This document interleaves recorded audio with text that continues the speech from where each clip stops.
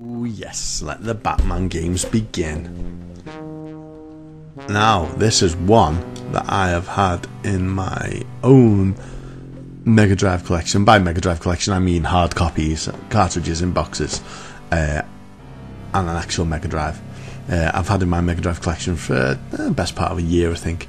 Um, since I saw someone playing it on YouTube, uh, now back in the day, I didn't really get into this. Uh, I was very much a child of the ZX Spectrum and uh, the Amiga, both of which, regardless of what other people tell you, had awesome versions of the Batman movie game. This one was never on my radar at all. Um, but last year, I was a quarter YouTube of it. I think I did play it on the Mega Drive as well, and it was a little bit small sprites and kind of, you know, um, the, the, the gameplay was kind of not as chunky as the Ocean gameplay of the likes of Robocop and Batman games. Uh, check out their Spectrum games for that stuff. Uh, and yeah, mm, to a lesser extent, the Amiga games, the Batman games ace, but the Robocop games are a bit crap. but um, you know, they had this sort of chunky way of doing games, and this one didn't have that. Uh, and I immediately knew it was nothing to do with Ocean, even though it says Sunsoft there. I immediately knew it had nothing to do with Ocean because of the way it played. That said, it's great. Um, and I should probably not have jibbed it off as easily as I did. It has a bit of chunkiness going on there. Um, now, where's the Ocean one? I had this kind of eight directional platforming thing going on with the bat rope. This does have that, but the emphasis of the gameplay is really left right scrolling. The end of the level is to the right, basically, if we keep going. Now, you can do stuff like you can punch and kick with the B button, which is cool and the baddies kind of just keep coming. But you can do stuff like that if you can find the right surfaces to use on. As you can see, none of those likely candidates were the right surfaces to use on, which is a bit of a shame because oh, it's that weird Mega Drive rain effect, which is more style over realism. Don't really like that effect. it doesn't do it for me. Um, although it is, you know, pretty stormy right now. Kind of works to that extent. Now,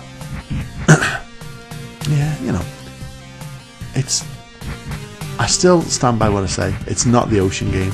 It's not as good, in my opinion, in my opinion, as the Ocean game. But then I might be biased because I've got nostalgia on its side. Um, now we do have batarangs as well, but we're probably limited. I think I've just used, yeah, one of the five batarangs. Yeah, I've got two left. Let's just fight. Okay, so we can jump, punch, and shoot batarangs. There we go. Uh, and if we push up we can, and use the jump button, we can also later in the game, I think, start clambering about.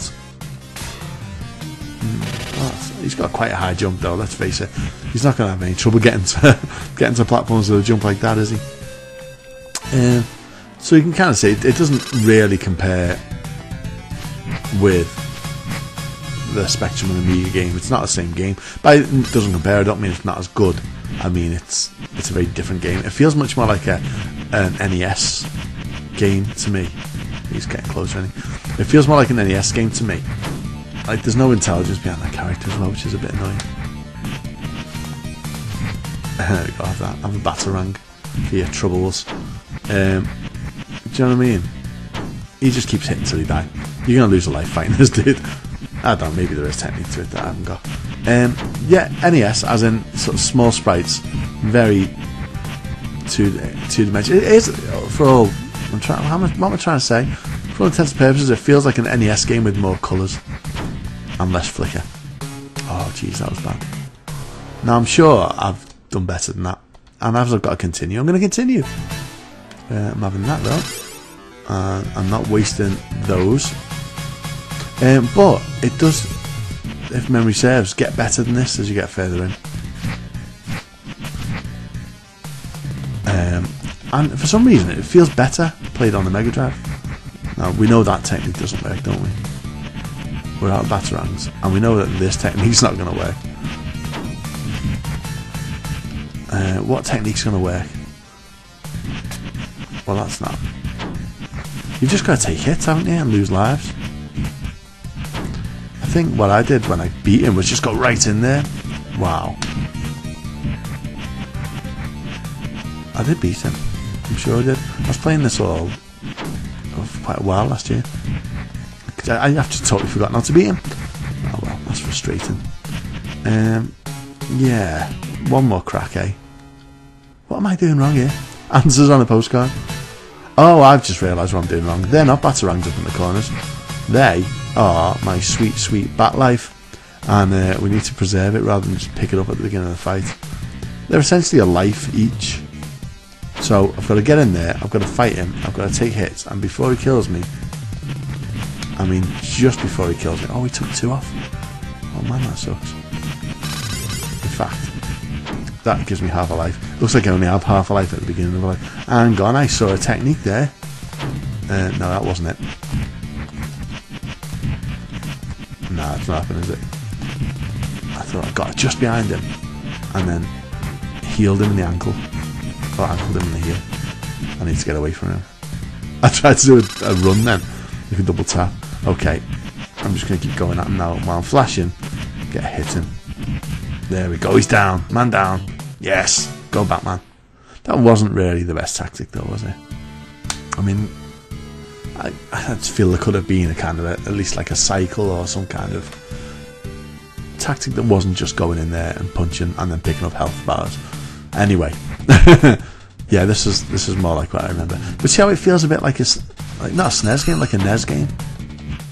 I'm not saying that's a bad thing. There are some great NES games. Oh, that's annoying. That is annoying.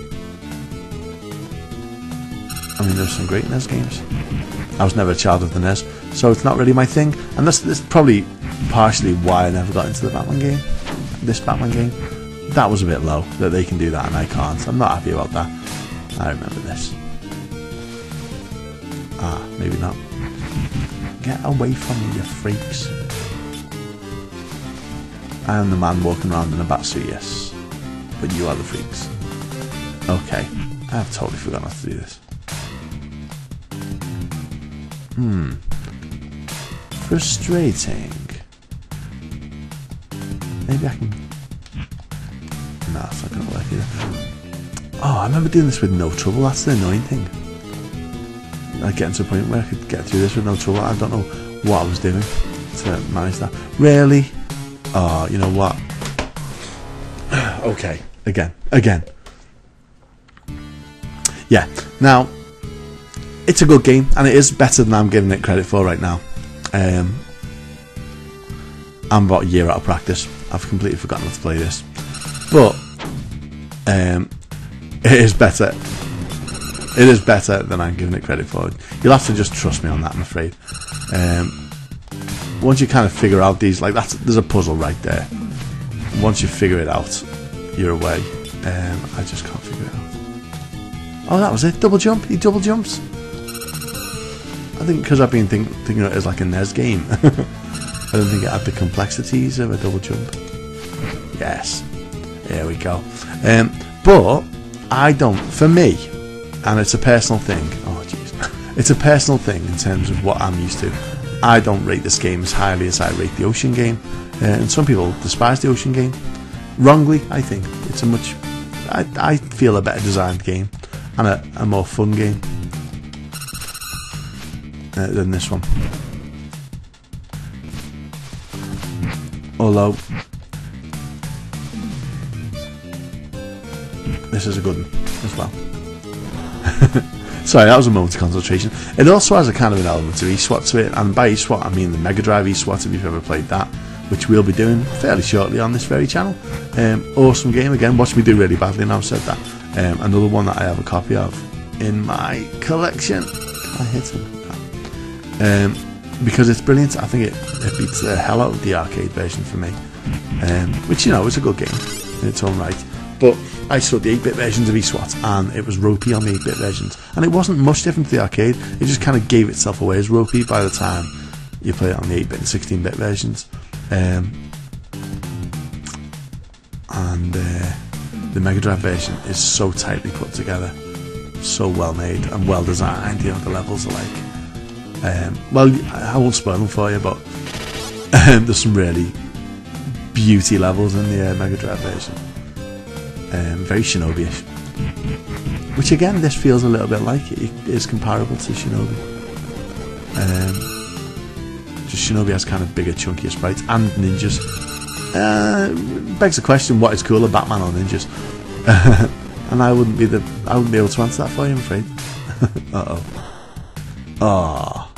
Just as well, we are over time. That was Batman um, for the Mega Drive. Actually, the movie game, I'm told, but and it kind of feels like the movie game. And it's got the branding of the movie game. It's just not called Batman the movie. Um, do check out Batman the movie too for the Speccy and Amiga and other versions. I'm sure they're brilliant as well. But that was Batman for the Sega Mega Drive. Not bad at all. Thank you for watching.